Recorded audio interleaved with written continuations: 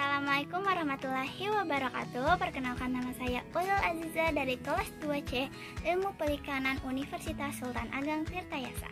Nah di sini saya akan menjelaskan dan menggambarkan tentang hewan-hewan dari kelas krustasea Sebelumnya saya akan menjelaskan sedikit tentang krustasea Krustasea atau udang-udangan adalah suatu kelompok dari arthropoda. Nah, hewan-hewannya itu yang dikenal seperti lobster, kepiting, udang, dan teritit. Nah, tubuh krustasea ini terdiri atas dua bagian, yaitu kepala dada yang menyatu yang biasa disebut cephalothorax dan perut atau badan belakang yang biasa disebut abdomen. Nah, bagian cephalothorax ini dilindungi oleh kulit yang keras yang biasa disebut carapax. Nah, krustasea atau udang-udang ini biasanya hidup di air tawar, laut, payau, dan sedikit sekali yang hidupnya di darat. Nah, alat pernapasannya itu berupa insang dan paru-paru buku. Nah, sistem peredaran darah dari krustasea ini terbuka yang beredar tanpa melalui pembuluh darah. Nah, darahnya itu tidak mengandung hemoglobin, melainkan mengandung hemosianin yang daya ikatnya terhadap oksigen itu rendah. Ekspresinya itu berupa kelenjar hijau yang menghasilkan cairan hijau. Nah, biasanya itu terdapat pada dasar antena. Nah, e, penjelasannya cuma segitu. Sekarang kita menjelaskan tentang udang ronggeng, rajungan, piting bakau, udang windu, udang faneme, serta mimi laut. Nah, sekarang yuk kita saksikan. Nah, yang pertama yaitu ada udang ronggeng. Nah, udang ini memiliki bagian-bagian tubuh yaitu mata, flagel, rostrum, antena, cephalothorax, perut, somit, talsoy, robots, kaki renang, kaki jalan, dan kalipet. Nah, udang ini termasuk udang spesies di laut, di mana dia memiliki filum Arthropoda, kelas Crustacea, ordo Stomatopoda, Familinya Squilidae dan genusnya itu Harspio squilla. Nah, genus ini termasuk stomatopoda terbesar di mana memiliki panjang lebih dari 300 mm. Nah, udang ini biasa disebut juga udang mantis di mana struktur tubuhnya itu sama seperti udang lain, yaitu memiliki toraks, abdomen, serta telson.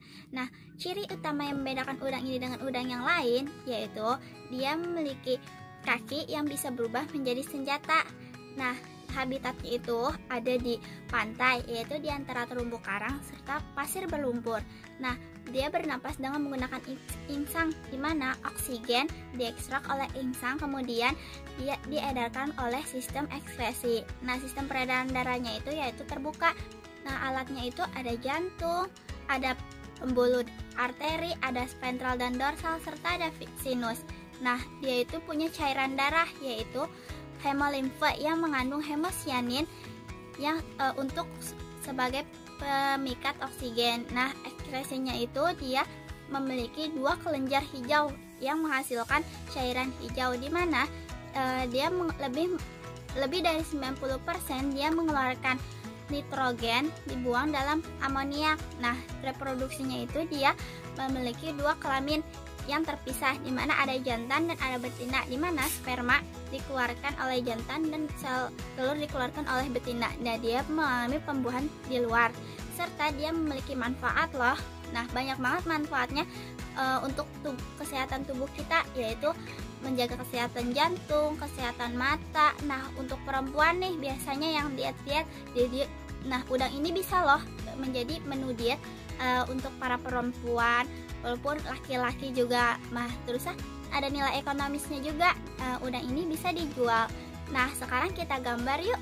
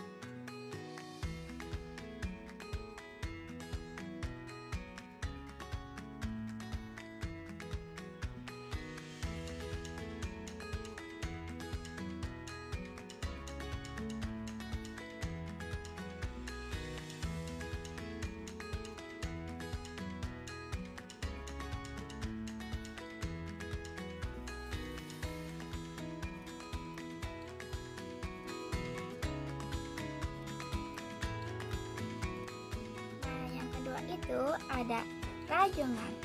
Nah, bagian-bagiannya itu ada vesicule, swimming leg, merus, corpus, kecil, abdomen, thoracic, propondus, carapace, dan claw of clipper. Nah, rajungan ini e, dari film Arthropoda, kelas Crustacea, order Decapoda, family Protonidae, dan jenisnya Portunus. Nah, e, jenis kepenik ini dapat berenang dan sepenuhnya hidup di laut. Nah, dia itu memiliki tubuh beruas-ruas, serta dia itu e, berenang cepat. Nah, rajungan ini uh, juga uh, berenang cepat karena memiliki potongan-potongan kaki seperti dayung. Nah, uh, yang jantan itu biasanya lebih besar uh, badannya daripada yang betina. Sedangkan uh, capitnya juga yang jantan lebih panjang daripada yang betina. Nah, terusnya warna warnanya pun yang jantan lebih uh, terang dibandingkan yang betina. Terus habitatnya itu ada di pasir uh, atau yang berlumpur gitu.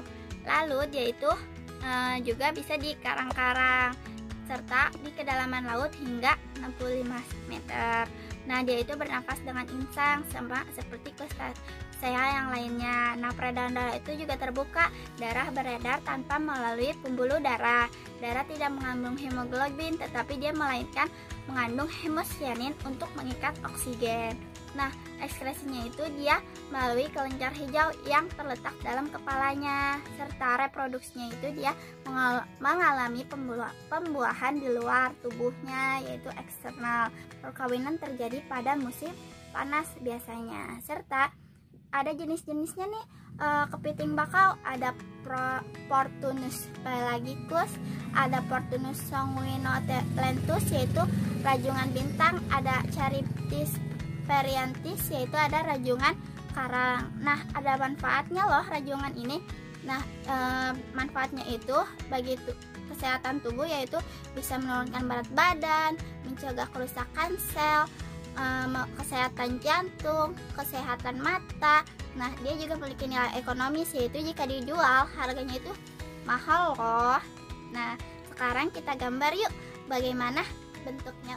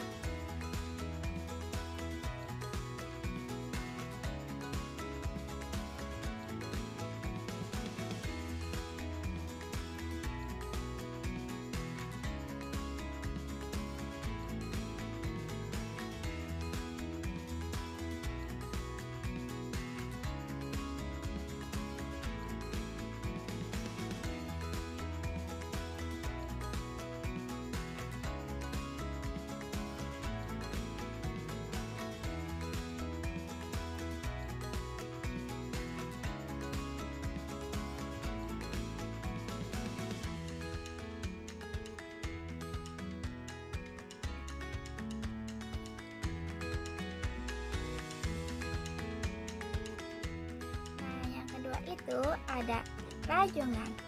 Nah, bagian-bagiannya itu ada ice, vesicule, swimming leg, merus, corpus, kecil, abdomen, thoracic, propondus, carapace, dan claw of clipper. Nah, rajungan ini e, dari film Arthropoda, kelas Crustacea, order Decapoda, family Protonidae, dan jenisnya Portunus. Nah, e, jenis kepenik ini dapat berenang dan sepenuhnya hidup di laut. Nah, dia itu memiliki tubuh beruas-ruas, serta dia itu e, berenang cepat. Nah, rajungan ini e, juga e, berenang cepat karena memiliki potongan-potongan kaki seperti dayung. Nah, lebih, e, yang jantan itu biasanya lebih besar e, badannya daripada yang betina. Sedangkan e, capitnya juga yang jantan lebih panjang daripada yang betina. Nah, terusnya warna warnanya pun yang jantan lebih e, terang dibandingkan yang betina. Terus habitatnya itu ada di pasir e, atau yang berlumpur gitu.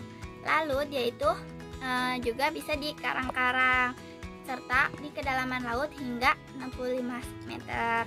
Nah, dia itu bernafas dengan insang sama seperti saya yang lainnya. Nah, peredaran darah itu juga terbuka. Darah beredar tanpa melalui pembuluh darah. Darah tidak mengandung hemoglobin, tetapi dia melainkan mengandung hemosianin untuk mengikat oksigen. Nah, ekskresinya itu dia melalui kelenjar hijau yang terletak dalam kepalanya, serta reproduksinya itu dia mengalami pembuahan di luar tubuhnya, yaitu eksternal.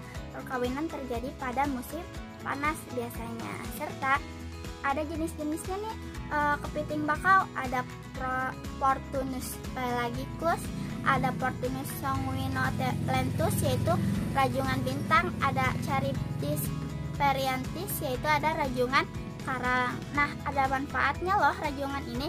Nah, e, manfaatnya itu bagi kesehatan tubuh yaitu bisa menurunkan berat badan, mencegah kerusakan sel, e, kesehatan jantung, kesehatan mata.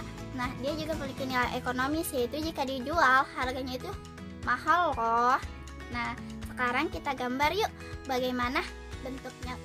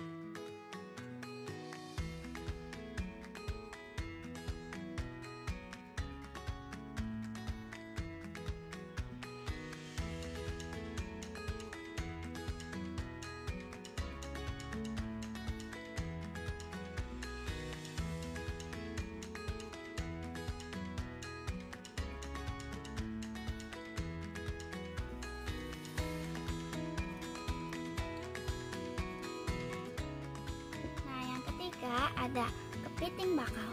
Nah, bagian-bagian dari kepiting bakau itu ada mata, karapas, kaki jalan, kaki renang, dactylus, propondus, cactus, dan merus. Nah, uh, kepiting bakau ini dari film Arthropoda. Kelasnya itu Crustacea, serta organnya itu uh, Decapoda. Nah, dia itu dari family Portunidae, serta jenisnya itu Scylla. Nah, Kepiting bakau ini memiliki lima pasang kaki yang berbentuk pipih dan melebar. Karapas karapasnya itu pipih atau agak cembung uh, yang berbentuk heksagonal. Pasangan kaki terakhir pipih berbentuk dayung dan mempunyai tiga pasang kaki jalan. Bentuknya itu bergerigi. Nah, habitatnya itu biasanya di lumpur, air tawar, payau, atau laut untuk reproduksi. Nah, uh, pernapasannya itu menggunakan insang namun insangnya itu bisa berubah menjadi vaskular uh, atau berubah menjadi paru-paru saat dia berada di luar air. Nah, peredaran darahnya itu terbuka yaitu terjadi kontak langsung antara jaringan dan darah. Nah, serta ekskresinya itu uh, proses metabolismenya itu berupa gas, cairan, dan padatan melalui ginjal dan saluran pencernaan, serta reproduksinya itu secara seksual.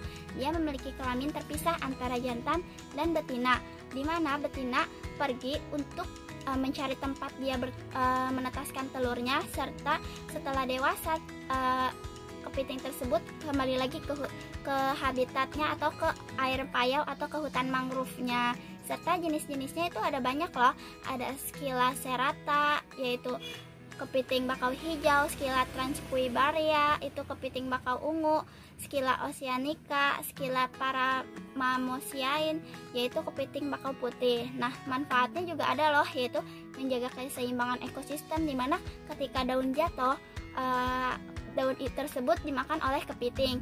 maka mempercepat peruraian. Nah, terusnya dia juga memiliki nilai ekonomis, yaitu bisa dapat dijual di beberapa daerah. Nah, sekarang kita gambar yuk bagaimana bentuk kepiting bakau tersebut.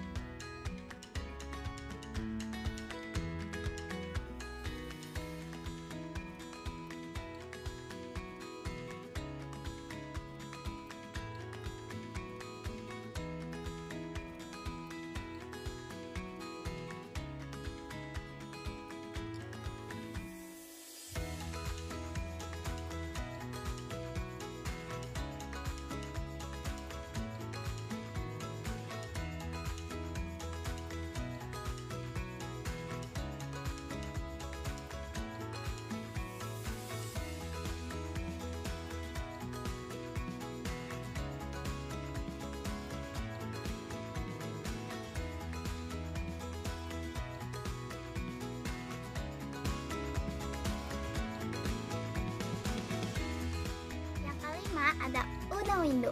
Udang windu ini memiliki bagian-bagiannya yaitu ada mata, antena, abdomen, ekor, kaki, serta cephalothorax. Nah, di udang windu ini dari filum Arthropoda serta kelasnya itu Crustacea. Dia juga memiliki ordo, Decapoda, familinya Panaidae serta genusnya itu Panaeus. Nah, udang windu ini biasa disebut juga sebagai udang pacat Nah, dia e, memiliki kulit yang tebal dan keras dan dia memiliki 13 ruas yaitu ada 5 ruas kepala, 8 ruas bagian dada. Nah, serta di perutnya juga terdapat 6 ruas. Nah, habitatnya itu ah, di mana sih? Dia itu bersifat eurehalin, di mana dia bisa e, dengan disalinitas tinggi atau di salinitas yang rendah. Nah, terus e, e, bernafasnya dengan apa? Dia bernafas dengan menggunakan insang. O2-nya itu diedarkan ke seluruh tubuh tanpa melalui pembuluh darah. Peredaran darahnya itu terbuka. Darahnya mengandung hemosianin yang dapat e, mengikat oksigen e, terusnya e, ekskresinya itu ada kelenjar hijau yang mengeluarkan cairan hijau yang terdapat di bagian dekat antenanya. Nah, bersifat diasis reproduksinya dia memiliki uh, jantan dan betina serta uh, dia uh, pembuahannya itu di dalam tubuh betinanya yaitu secara internal. Nah, jenis-jenisnya itu juga ada loh. Ada Paneus monodom, Paneus mariguensis, dan Paneus indicus. Nah, manfaatnya banyak loh. Bisa dikonsumsi, banyak mengandung protein, vitamin, fosfor, zat kapur, mineral. Pokoknya banyak sekali uh, untuk kesehatan tubuh. Nah, dia juga biasa dibuat pasta udang. Nah, terus ya sebagai tepung untuk pakan uh, udang serta kulitnya dimanfaatkan dalam industri farmasi bisa dijadikan kosmetik. Nah, segitu. Nah, sekarang kita gambar yuk bagaimana bentuk udang terakhir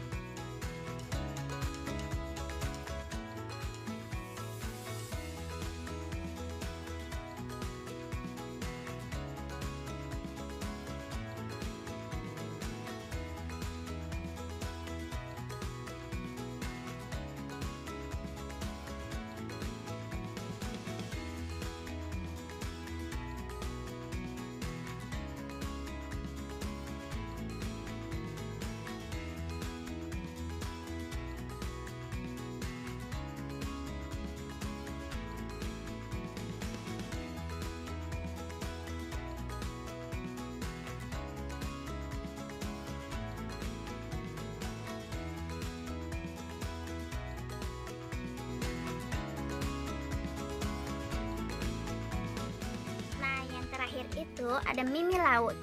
Nah, mimi laut itu memiliki bagian-bagiannya yaitu tailfin, spines, carapet, atau eye, walking like median eye, abdomen, mouth, bukil, dan anus. Nah, uh, dia terdiri uh, dia tuh dari film Arthropoda. Terusnya dia itu dari kelas Merostromata. Dia ordonya itu Siposura, familynya itu Lemulidae. Nah, dia itu uh, bisa disebut sebagai um, mimi laut yang sekarang tuh primitif. Maksudnya itu kayak udah nggak ada apa sih jarang banget yang ada sekarang karena dia dilindungi juga karena udah mulai punah. Nah dia itu terdapat tiga bagian ya, di dalam tubuhnya ada bagian. Yang pertama itu bagian depan. Dia tuh bentuknya seperti tapal kuda. Yang kedua itu ada bagian tengah. Tepinya itu terdapat duri-duri panjang jumlahnya itu tergantung jenis kelaminnya nah yang ketiga itu ada yang paling belakang menyerupai daun yang panjang dan runcing eh, disebut juga duri ekor Nah, tubuhnya itu panjangnya sekitar 23 cm sampai 24 cm. Nah, duri duri uh, ekornya itu panjangnya sam, uh, 20 sampai 24 cm. Nah, habitatnya biasanya di mana sih? Biasanya itu di perairan dangkal atau di dasar laut gitu yang lahannya basah. Biasanya itu ada di pantai. Nah, pernapasannya itu uh, di, di balik kakinya itu terdapat insang memiliki insang yang berbuku gitu yang ber, e, berfungsi untuk pertukaran gas pernapasan dan kadang-kadang digunakan untuk berenang juga. Nah, peredaran darahnya itu terbuka alat jantung yang panjang. Alatnya itu ada jantung yang panjang, tiga buah darah arteri anterior, empat pasang arteri lateral dan sinus. Nah, ekspresinya itu ada empat kelenjar cosa tiap dua pasangnya terletak pada sisi ampela atau gizzard. Nah, reproduksinya itu secara seksual dan bersifat dioeceus, yaitu memiliki jantan dan betinanya. Pembuahannya itu secara eksternal. Nah, jenis-jenisnya itu ada Limulus polypenus, Carcinonos corpius rotundicauda itu mimiranti, tapi Leus gigas itu mimi bulan. Nah, manfaatnya apa sih? Nih, ini tuh bisa dijadiin riset medis atau obatnya. Jadi kayak misalnya uh, kita tuh uh, darahnya ini tuh darah biru di mana kayak ketika itu sebagai indikator di darah seseorang itu bisa ada virusnya atau bakterinya atau enggak ketika ditetesi uh, darah tersebut. Nah, di sini juga mimi laut pada saat itu uh, bisa juga dikonsumsi daging dan telurnya. Makanya kenapa mimi laut itu sekarang punah? Karena banyak diburu sama orang-orang gitu. Makanya kita harus melindungi ketika melihat mimi laut jangan diburu atau dimakan tuh nah sekarang kita gambar yuk bagaimana bentuk mimi laut